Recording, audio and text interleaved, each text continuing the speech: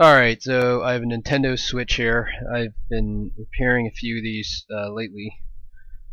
And I don't initially I was I didn't really want to do these things just because they're just I don't I don't really know much about them. Seems like there's multiple points of failure and uh and that was that. But it seems like we know a little bit more about these things now and they're actually not too bad not too hard to disassemble and the repair is not too bad. So I think it's I think this is something that is uh, definitely doable in terms of uh, uh, I guess maybe I don't know running a profitable business. I mean this is a viable repair I think.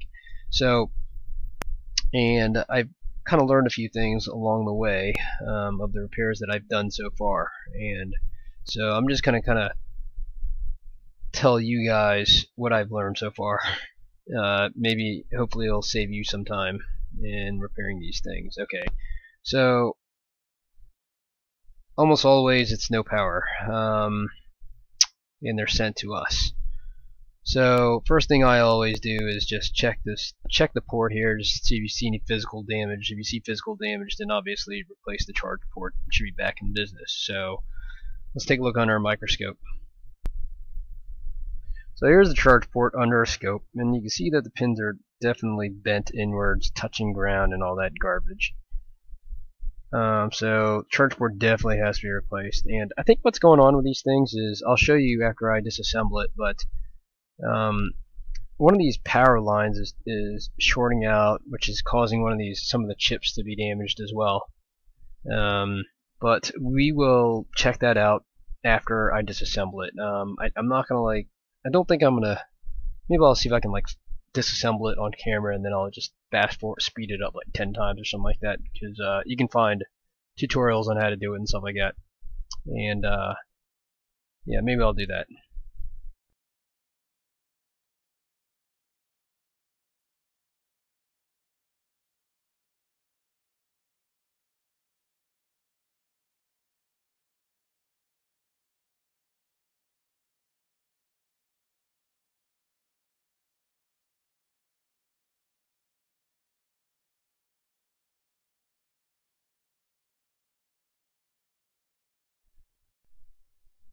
So basically, all the screws are silver except for four four black screws, and the, and all the surface screws are pretty much the same size.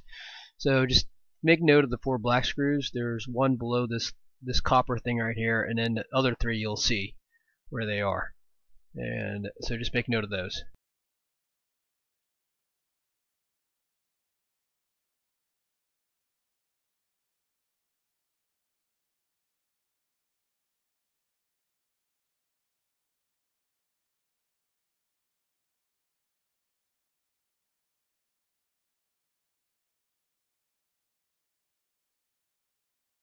Okay, so now that the logic board is disassembled, I just want to talk about a few things. One is, okay, okay. The first thing is there's a heatsink here, and um, there's some heatsink putty, or I don't know what it's called, but anyways, you definitely want to wipe the old stuff off, and when you, when you reassemble it, wipe the old stuff off, and put a put some new ones back.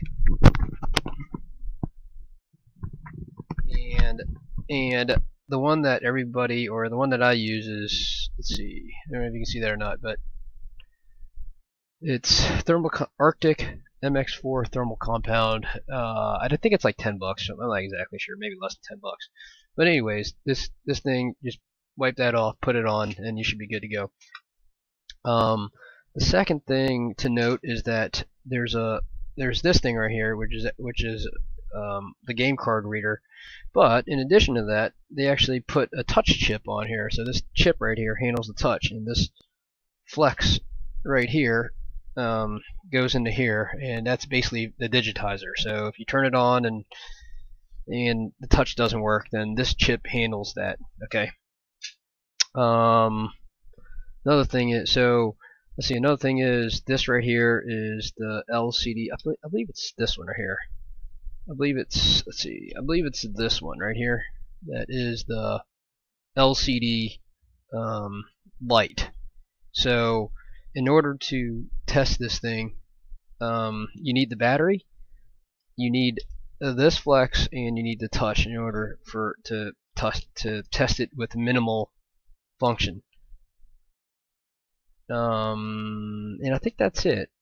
So, oh, another thing is be careful with this LCD connector right here. This is the LCD connector. Um, because what's been happening is that some of these pins in here, when you put the flex back in, they'll kind of like push it, they'll kind of like squeeze it out and uh, mess up the connector. So anyways, if you want to, just be very careful with this one because I've messed up a few connectors already. And I've had to replace that, which which is not horrible, but you know, it just takes another whatever 15, 20 minutes of your time. And the whole point of these things is to do it fast and efficiently. Um, so I think that's it. I think I think the power flexes, one of the power flexes is one of these two. Not exactly sure. So if you you know if you want to test it with the power button, plug these two in, and these are these two are for the speakers. So those aren't required for testing. And hmm, I think that's it really. I think that's it. Those are the important things. And so anyways, disassembling was was was fairly easy. It probably took less than 10 minutes. Um, okay, so let's go under the microscope, take a look. Okay, so here's the logic board under the scope. Um, so the HDMI or the USB USB-C charge board is here, which we know we're gonna have to replace. And another common cause of failure is this uh, chip right here called the MT M92T36. Alright, this is a pretty common point of failure here. Um, and I'll just, I guess I'll just kind of go over right now, but basically what you do is you just diode mode this, this little chip right here. Uh, basically use diode mode the capacitors around it. So red to ground, black to, to these, uh, actually that might not be ground. Is it ground? Yeah, that is ground, okay. So basically, you just diode mode all these capacitors around here and see if there's anything that's short on both sides. Like this one right here is short. Yeah, let's see, this one is both short. So I can already, well, what we're going to do is, it's possible that it's the charge port that's causing the short, so what we're going to do is replace the charge port because we know that's busted. And, um, and then hopefully the short will be gone. Hopefully the short will be gone.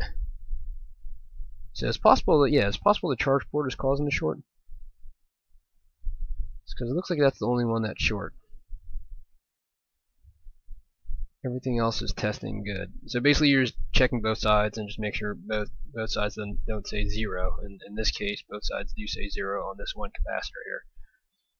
So first things first. Okay, so that's one point of failure. Another point of failure that I've seen is um, well, that I've never seen, but they say that this coil right here goes bad, so basically just diode mode both sides of the coil and make sure it's not grounded on one side. Yeah, so this is 0.37, and then there's some glue on this, so you just have to get past the glue, and then, let's see. Okay, that's 0.37 as well, so that's good. Um, and then one other thing that I do, um, there's like some six-legged transistor here. I'm not even sure if that's necessary or not, but you can diode mode these three right here and just make sure that, well, this one's not, they're not supposed to be short here, but I think, I suspect that some of these pins are bent, which is causing the short, you know. So, just diode mode these and they should all be right around 0.50. Alright, this one's, this one right now is showing short, but that's only because this connector is busted. Alright, so, I mean, there's really not, not much else to it. We're just going to go ahead and replace this charge port now and I'll show you kind of the method I use to replace it. So I don't really do much to it. I mean, I just, you know, I just do the usual, which is Kapton this. And one thing you might want to do is actually take this uh, water damage sticker off and put it back later because when we remove this, although I don't think we can do that actually. So anyways, once we start taking the charge board off, yeah, this is not meant to be removed and put back. Well, actually, eh, maybe we can do that. Okay, so we'll just put this aside over here, okay? Because if you try to heat, it's going to get damaged if you um if you muck with it. Uh, so basically, I just try to Kapton a little bit of everything, and then um, I'm going to flux it up a little bit. I'm to flux it up a little bit, and then I'm going to, hey Google, turn smoke on. So I'm at 400 degrees, Celsius and airflow of um, 100. All right, on my quick 861 DW, and not a whole lot to this. Just gonna, like I said, high heat, and then as soon as it lifts up, I'm just gonna lift it up, and I'm gonna use some heavier tweezers. So I'm not using my Hakko tweezers. I'm using this this big big thing right here.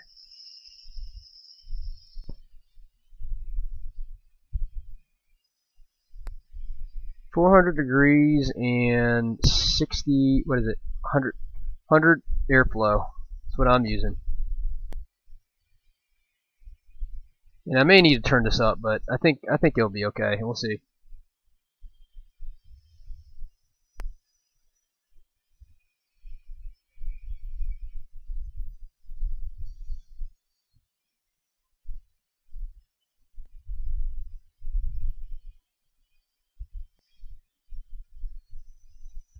Yeah, I'll probably need to turn this up. Alright, let's turn it up.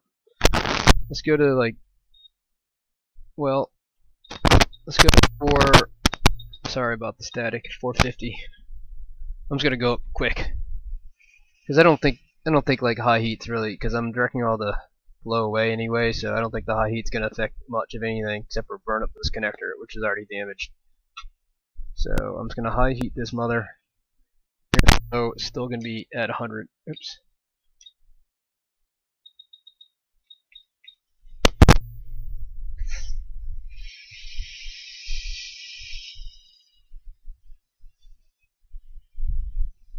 High heat, high airflow. There you go. That was pretty simple, okay. Yeah, there you go. So that was fairly simple. This thing is dead. Uh, let's go back to the scope here. No rip pads or anything. Um, okay, so I guess one of the biggest issues with this thing are these stupid little holes here. You know, you want to you want to be able to clear these holes up so that you can stick the new connector in. You know, and um, they're actually a little more challenging than you would ever imagine. so I'm just gonna use some wick here and, and just to get all the old stuff off. I don't know what everybody else does to clean these things, but I'll show you my method in a little bit here.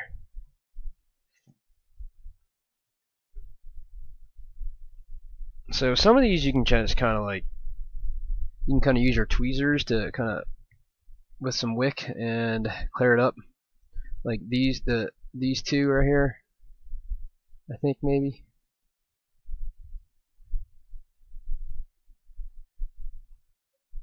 Um,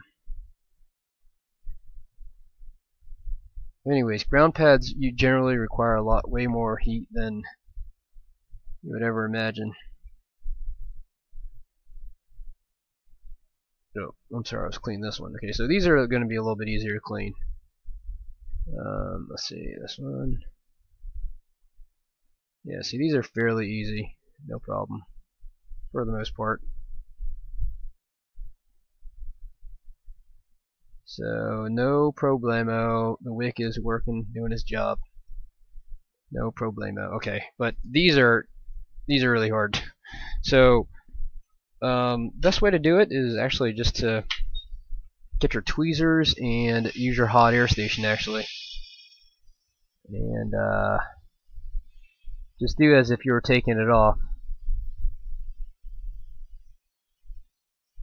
There you go. See, see how it's melting? And just use your tweezers and just kind of poke down on them very gently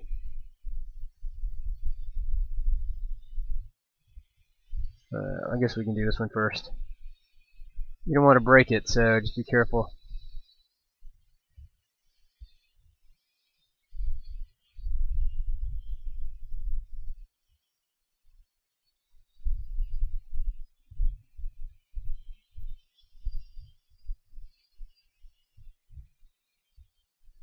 And just create that, create the little gap. There you go, that's one and then you can kind of go back to it definitely use a little flux go back to it and kind of clean it up a little bit with your uh,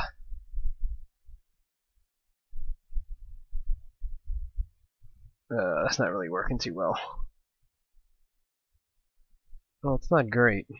Um, as you can see, I'm still trying to kind of hone my method here. Well, that one's good. Should probably turn it over, so maybe I'll just do that.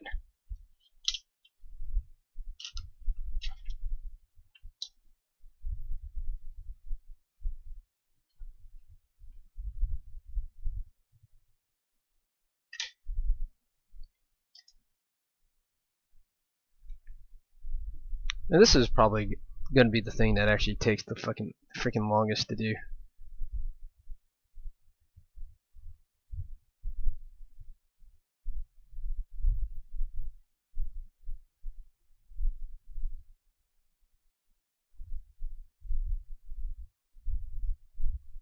Okay, so those are pretty pretty good right there. All right. Um, so let's see what we can do about these.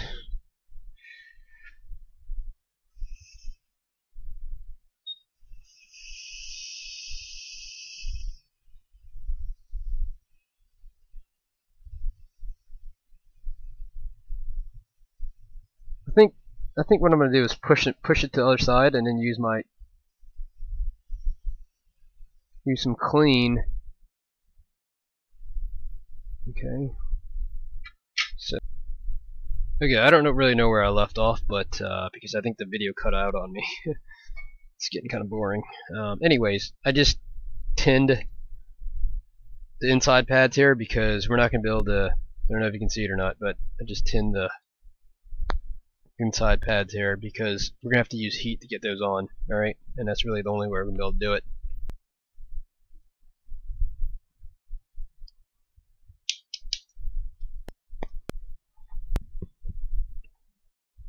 So tin it, put a little flux, and then we're gonna have to fit the connector on here. And here's the new connector. You can't really see it, but it's. I'm actually gonna tin the actual connector a little bit too, just so that inside at least, just so that it'll kind of fit.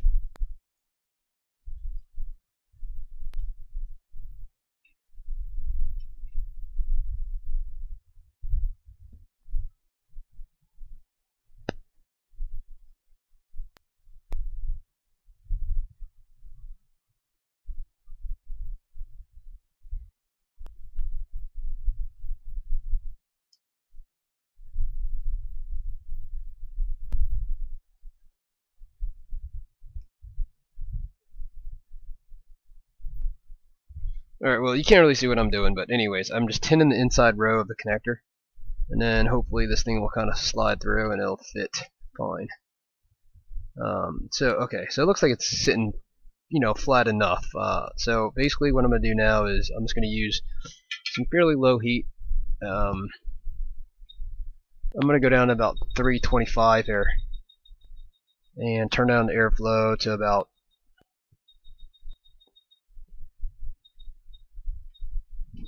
let's say 50. Alright, so 325 and 50, and uh, flood it with flux. And so basically the goal is to get the inside row. Um, shit. I don't know if you can see what I'm doing or not, but anyways, get the inside row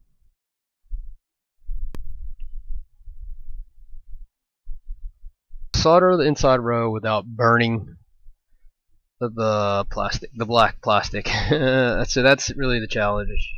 So maybe this is the second hardest thing. So I'm just going to kind of gently push down here. And like I said, I'm at 325 and 50. And just you're just looking for this black thing to make sure that doesn't burn up. If that starts to melt, then pull back or and then turn the heat lower, okay?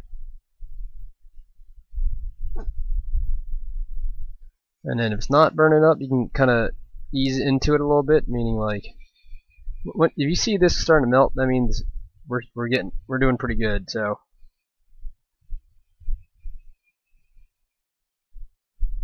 So I'm just going to go a little closer since I don't see the black stuff burning, you know. And you might have to turn the heat up just a little bit.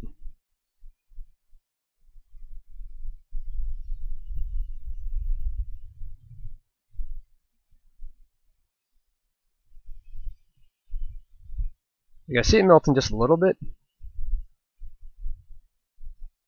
I think I'll have to turn it up a little bit. So I'm gonna go 353 like 45. Put a little more flux.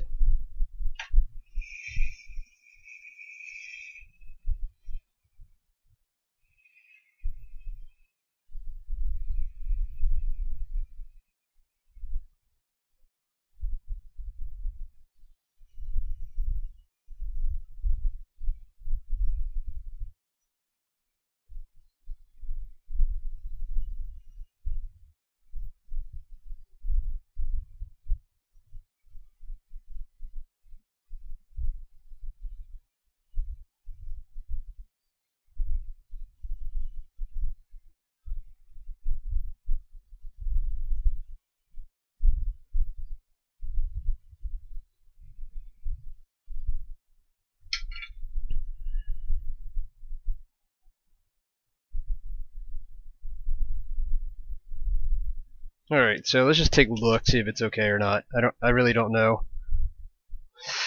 And sometimes we can't really see what's going on with it, but maybe we can kind of get a glimpse of whether these connectors work or not.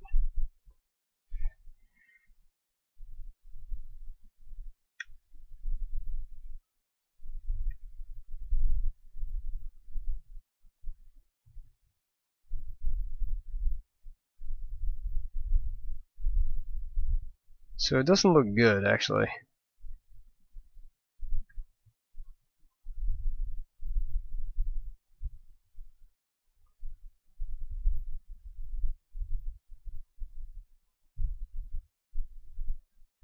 mean, if anything, it looks like it's kind of barely hanging on by thread. Um, yeah, so this is not good enough. Uh, I'm going to put a little more work into this. Um, probably just hot, hotter, a little higher heat. Yeah, it sucks. After after several tries, I still haven't really got it. Done a great job of figured out a great way to do this yet. But I'm just gonna kind of like flood it with flux, turn the heat up a little bit. So I'm gonna throw it 370 with air. I'm gonna turn airflow down just a little bit to 40. And I think you can probably heat it from the backside too. But I'm going to do it from the top side.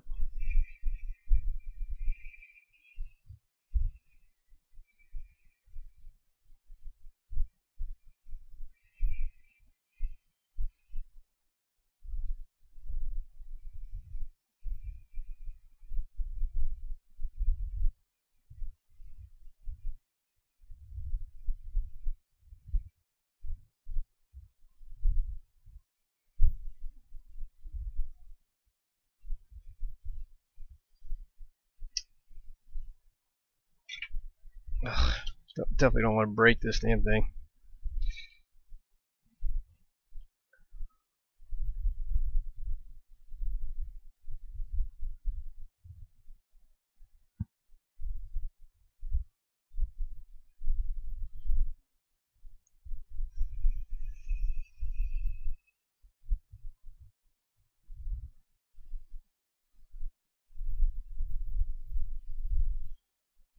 Oh shit.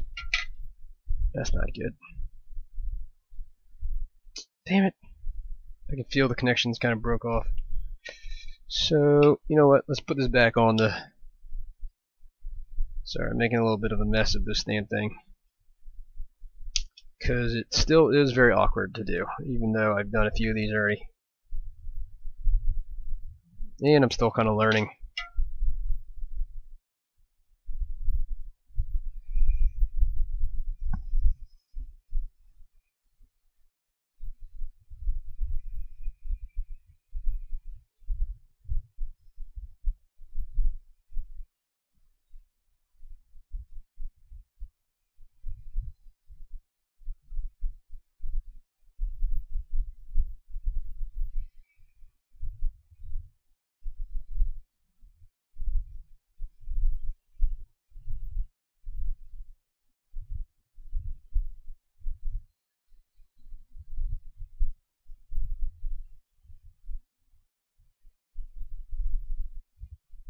Maybe I should just burn this mother up.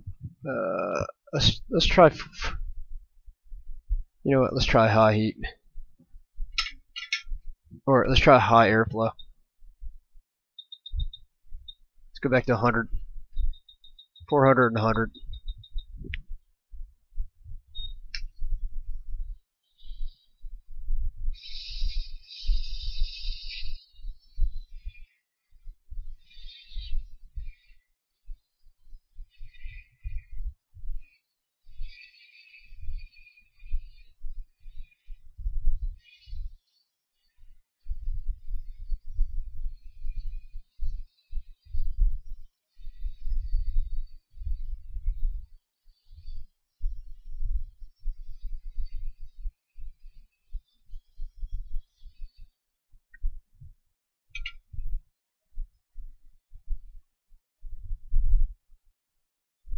Alright, that's gotta be good at this point. Although I think I bent the board a little bit, but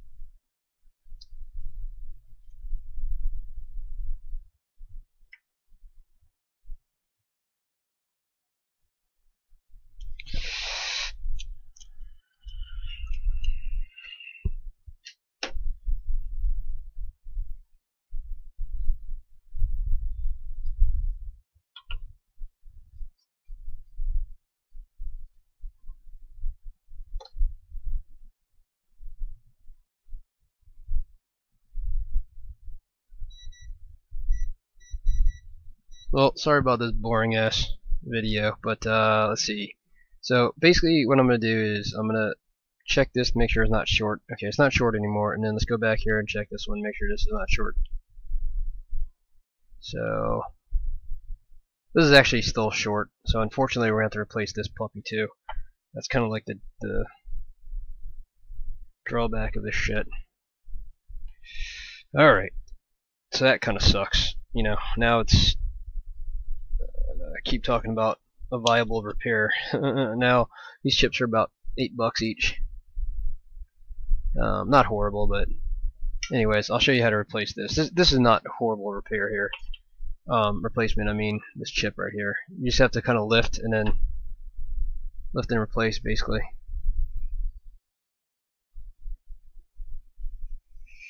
Just note the dot dots in the bottom left here. And I'm, I'm still at 400 and, one, 400 and 100.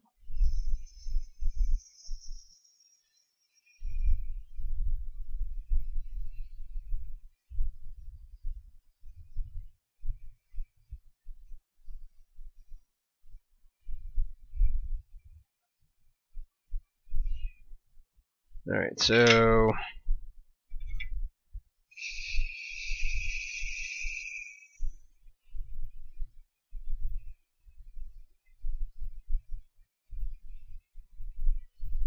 Alright, I'm not going to do much else to that, uh, but let me go get a chip real quick.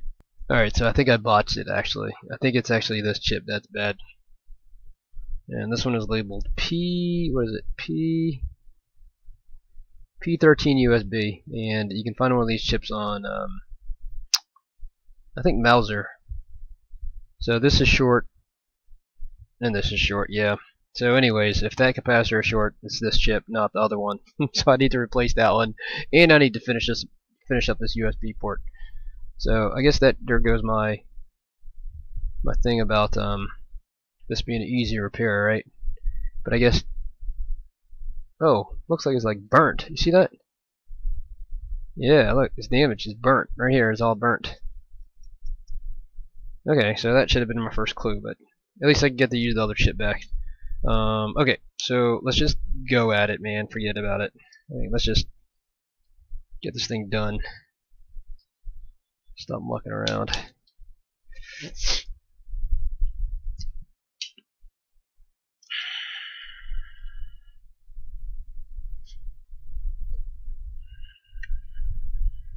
Um, just note the dot right here. That's where the dot is. This sucks.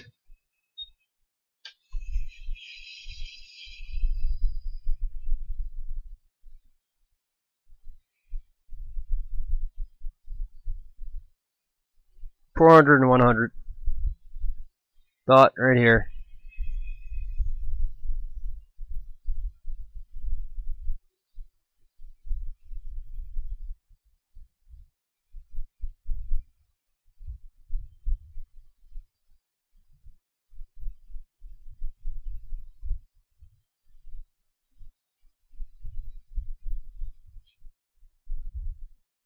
Alright, before we do anything, let's just check this uh, capacitor again, make sure both sides aren't still short. Yeah, it's not short anymore, so it's definitely that. Okay, so it looks like it was actually, oh wow, you see it? This is actually burnt right here. So this right here is burnt. And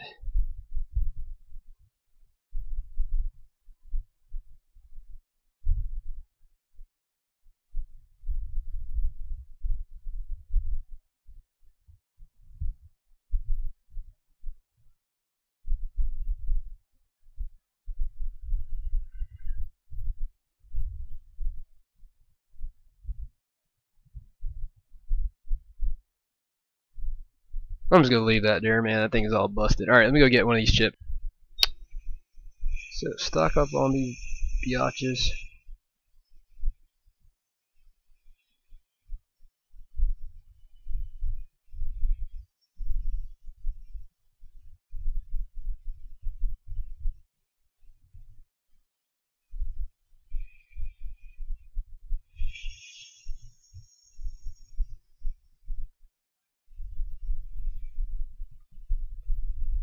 This is probably not I'm going to work after I'm done with it. Piece of shit.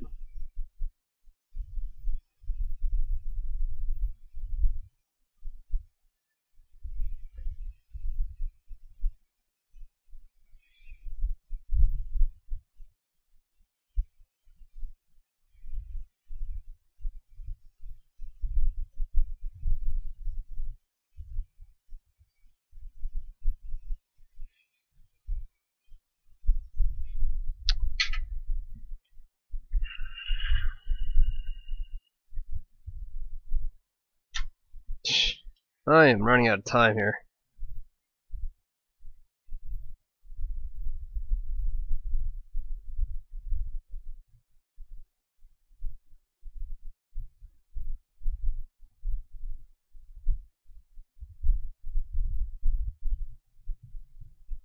Is not even, uh, it's not even even.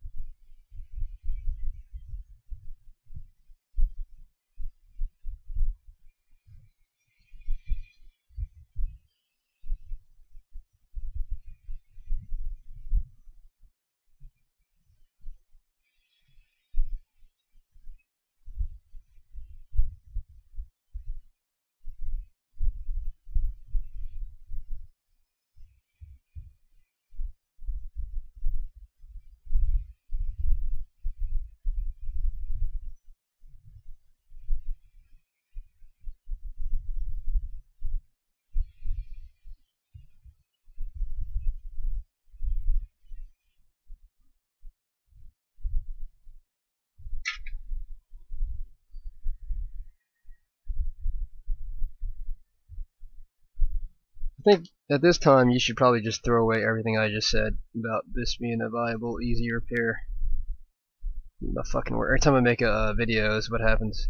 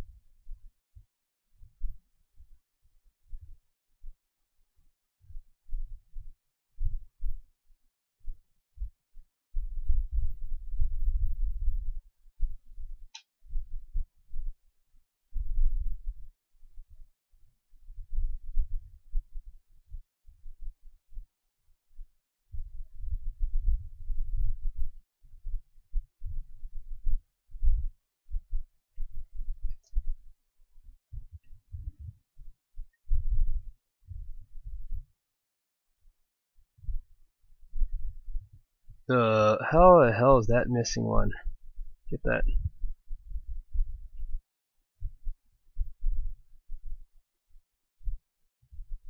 I don't even know if this is the right chip.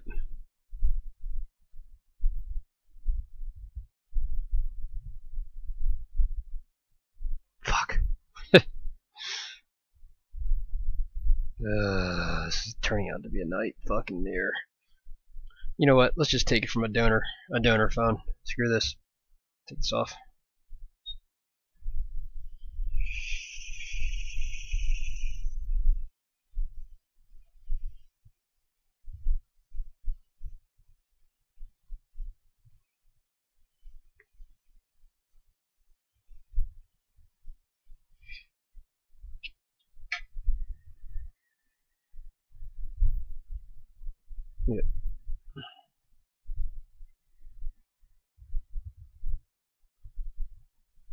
This thing's no good. It's missing a pin. Oh, okay. Uh, okay, so I'm not exactly sure where I left this off, but basically, let's see. I'll just kind of talk about what I did, but um, because I'm still learning about these things myself. But this is a donor board right here, and what ended up happening was that, let's see, that I don't know if you can see it, but that capacitor right there was shorted on both sides. And that is actually a tell that this chip right here, the P13 USB chip, is not good. Not the M92T36. Alright, and if you want to find out where to, where to best source these parts, like the charge port this chip and uh, this chip, just go to microsoldering.com, click on parts and supplies. I think that's what it is. Um, anyways, so you can you can so that was shorted right there. This little dot right here, and then this capacitor right there was shorted.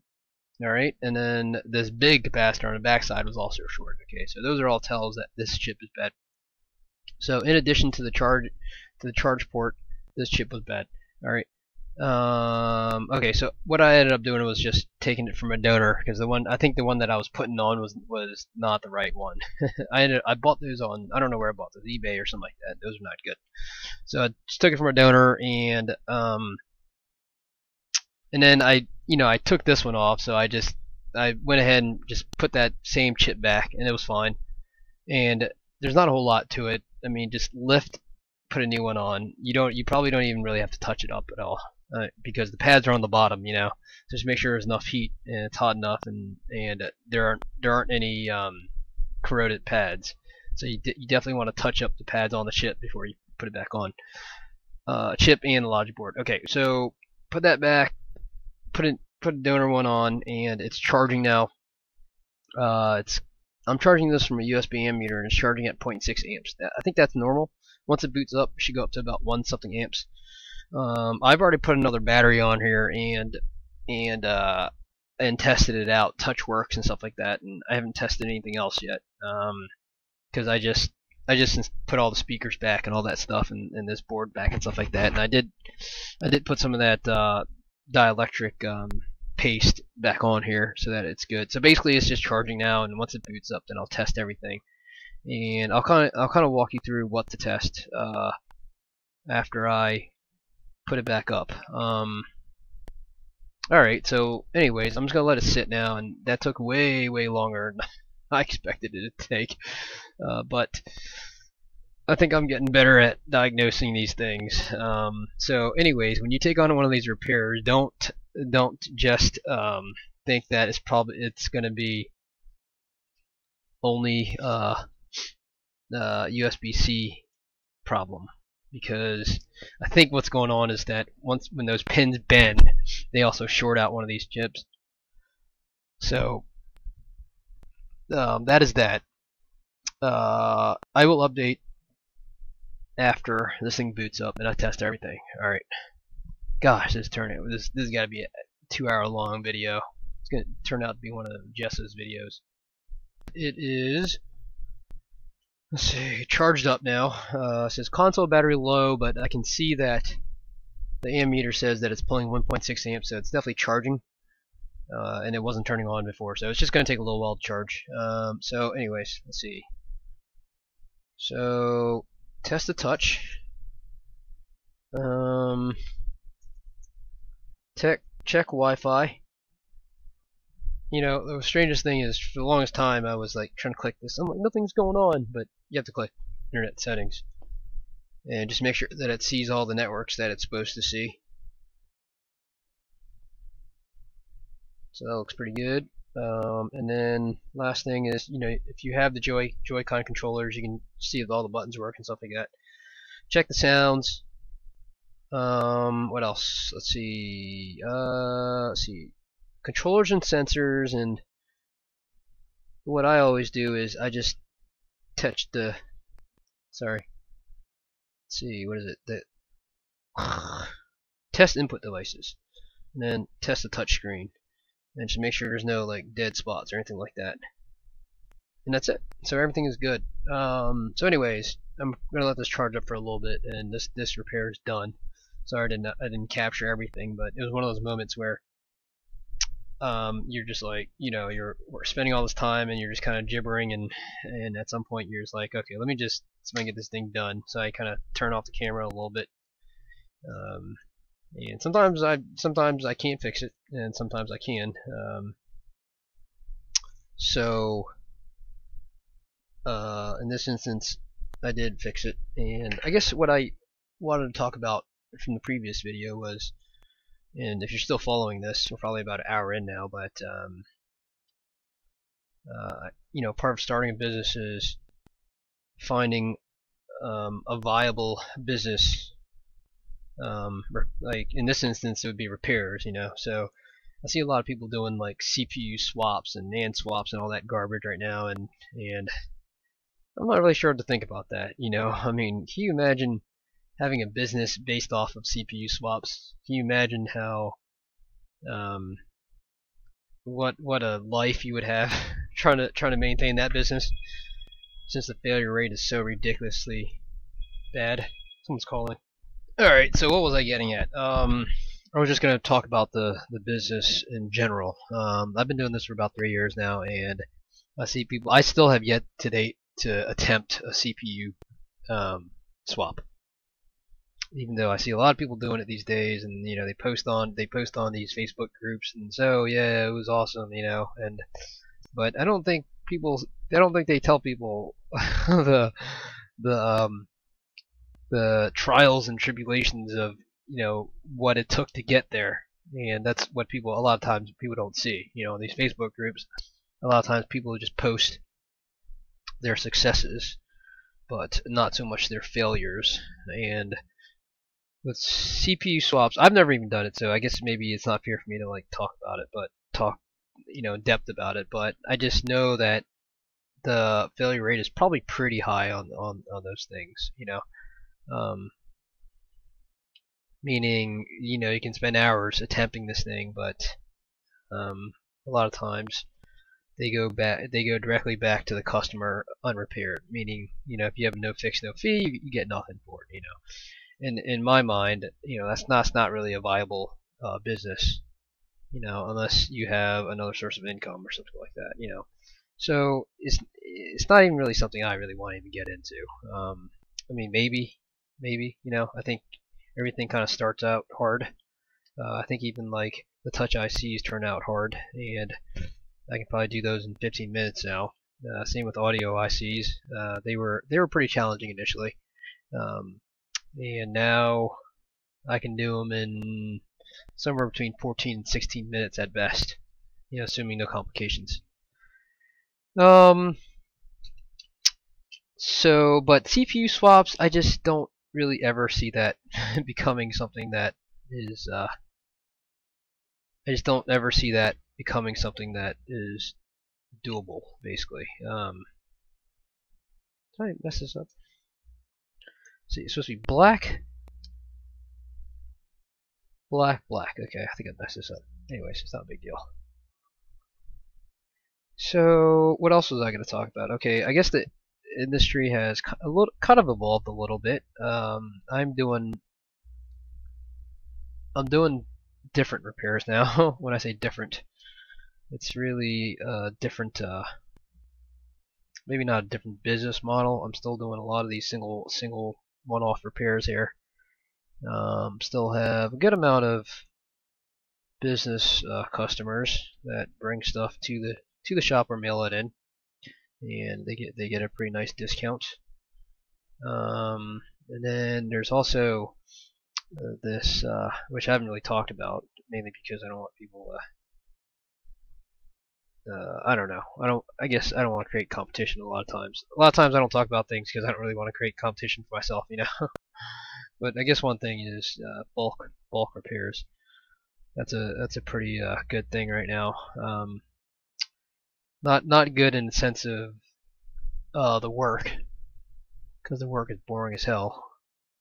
But uh, bulk audio IC repairs, bulk touch IC repairs. Um, at at this point, it's mainly it's mainly. Hold on, I need to go outside do something.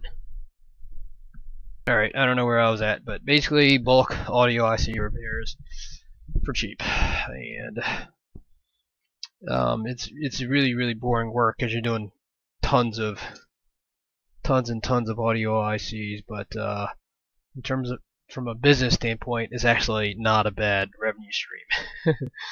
um, and I think I'll just leave it at that. But um, so that's one idea, you know. And then another idea is I don't know if you're I don't know if you're struggling or not, but I'm just kind of talking about random stuff.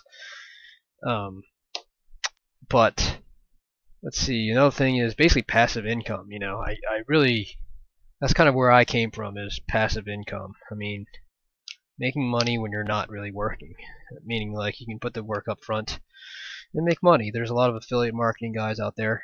Um, that's where that's basically where I came from, affiliate marketing that's kind of how I built this business actually. Um, you know, get a good domain name, SEO, get up to the top.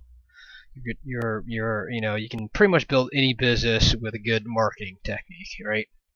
With a good marketing plan, and and it's really not the other way around. I mean, you can have an awesome business plan, and if you can't get the customers, you're not, you're not, you're not getting anywhere. You know, you have to get the customers first, and then, or you have to figure out a way to get the customers, and then you can build whatever freaking business you want. You know, I mean, I, I didn't think that I'd I'd be doing a micro soldering thing uh, three years ago, but but uh, it just happens to be that I got a little bit lucky when I entered the mark enter, entered the business, and um, and you know that's kind of how it how it went. Um, I was doing something very very different than what I'm doing right now. Before this, it was actually it was affiliate marketing, but um, yeah, very, very different. So, so let's see. What else are we talking about? What else can we talk about? Because I'm almost done putting this back together. Um, had had some things I wanted to talk about, but I guess I guess there's a lot of people doing what we're doing right now, micro soldering versus you know three years ago, and I'm sure some people are probably struggling to get business. And that is really the hardest part of any business. I'll keep yapping about that. But um I don't know what else to talk about. Anyways, you can just watch me put this back together. And then if I think of something, I'll talk about it. So, I'm probably nearing about an hour now.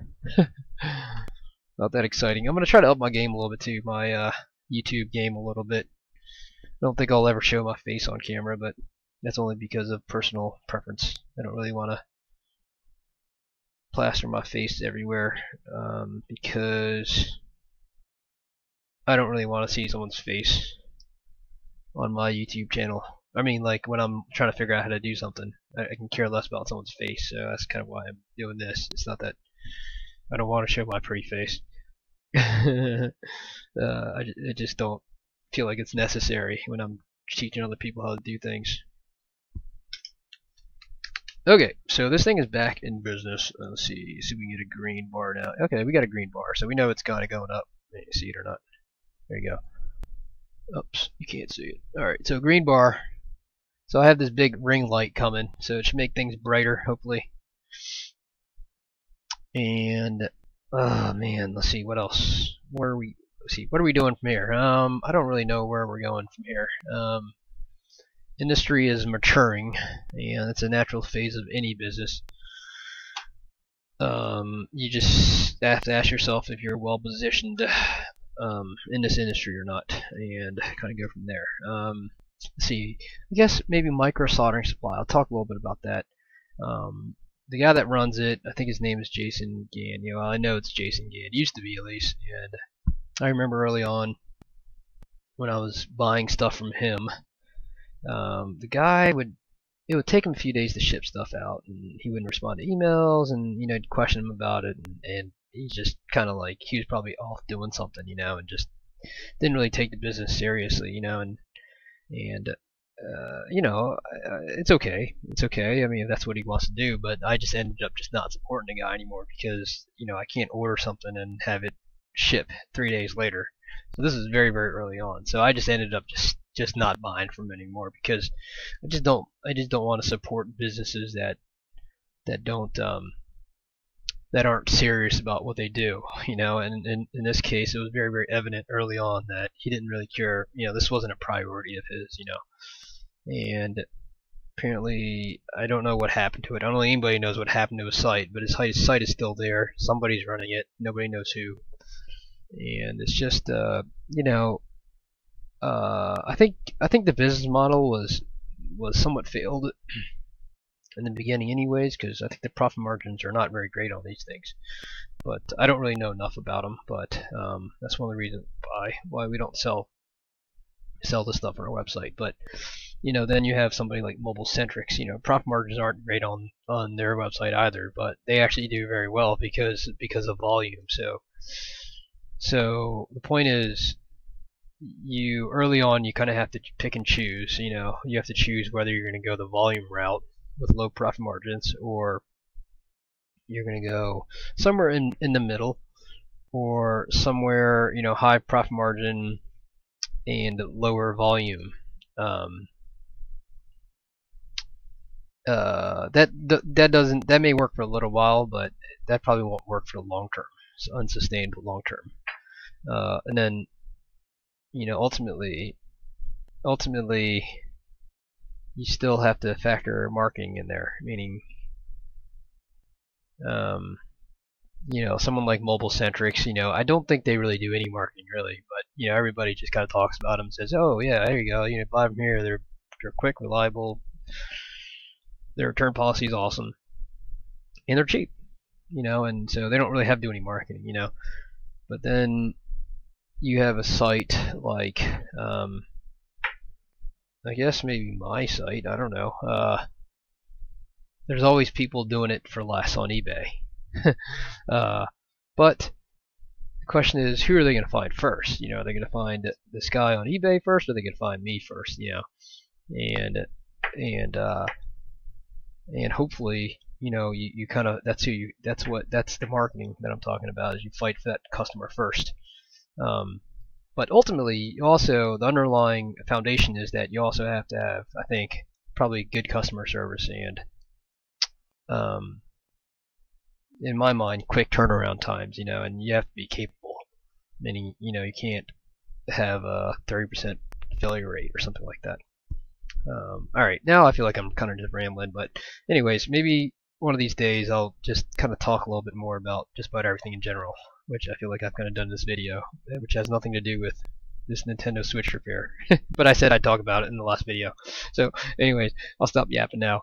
Um, so you're gonna, I'm gonna do a promo video with our online course. If you want to learn how to do this, you can buy the course. It's a hundred bucks. It looks like we're up as of today. Our rating on this course is 4.5 out of 5 stars, so that's pretty good. Um, uh, we just added an audio IC section on there, which is a little bit long overdue, but uh, but we did add it indeed. And uh, at some point, we're going to do a data recovery, like a comprehensive data recovery. But I still don't feel like I'm very very great at it, which is why you know it's hard to like talk about something unless you're uh, unless I feel like you're pretty confident and you're pretty good at it. You know, with data recovery, there's a lot of moving parts, and um, you know, uh, there's a lot to learn about it, you know, and I haven't even done a CPU swap yet, right? So who am I to who am I to teach someone else about data recovery?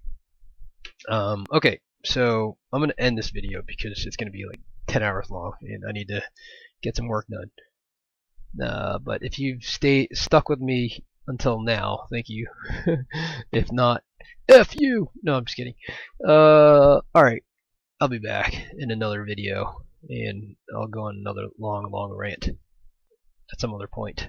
Thanks for watching. Peace. I just want to say thank you for watching our videos on YouTube. Um, you know, when I started micro soldering about three or four years ago, probably about three years ago, um, I started because I ended up breaking someone's phone during a repair. Yeah, this was back in the days of the iPhone 5C, and as I was disconnecting the battery, I accidentally pried off one of the little components next to the battery connector. So my options were to try to try to fix it or to buy buy the customer a new phone and and that's kind of what started this journey. Well, fast forward three years later, um, we have a website now, microsoldering.com, and we also have an online training course. Um, it's $99.99 if you buy it through our website, and we go over just about everything that you need to know to get started on your microsoldering journey. Um, it's uh, kind of sectioned out into about four parts. And uh, the first part, we just kind of go over all of the basics, the tools, how to use diode mode, um, and uh, what kind of tools and equipment to buy and stuff like that. The second part, we talk a little bit about ZXW tools. And in the third part, we go over four of the most common repairs. Let's update this. It should be four common most. So it's basically no touch, no backlight, no power, and we just added a section for audio IC on the iPhone 7 and 7 Plus. And then the last part is data recovery, no boot, and just kind of a very basic um, uh, discussion about data recovery. So if you want to buy it, just go to microsoldering.com, click on Store, Shop, and then you'll come to this um, this uh, page right here. Just click on Buy at Udemy, and that'll take you to Udemy where our course is hosted. Um, and you can even preview some videos of the course and see if you like it or not. And right now it's we're at four and a half hours, and we're adding to it um, as much as we can. So uh, just make sure you go through our website, otherwise the cost is a little bit higher. All right. Thanks for watching.